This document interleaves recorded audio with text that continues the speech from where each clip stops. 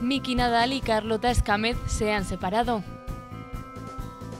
Tal y como ha publicado la revista Lecturas, al parecer el presentador y la hija del futbolista Julio Alberto han puesto fin así a su relación y han decidido emprender caminos por separado después de cinco años y con una hija en común de cuatro.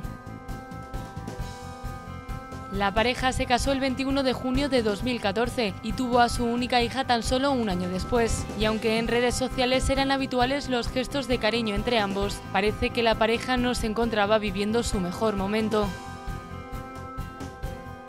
Tras el enfrentamiento con su suegra Carmen y la pérdida del bebé que estaban esperando en 2017, el matrimonio no ha conseguido superar las dificultades y finalmente han decidido poner punto y final a su historia de amor.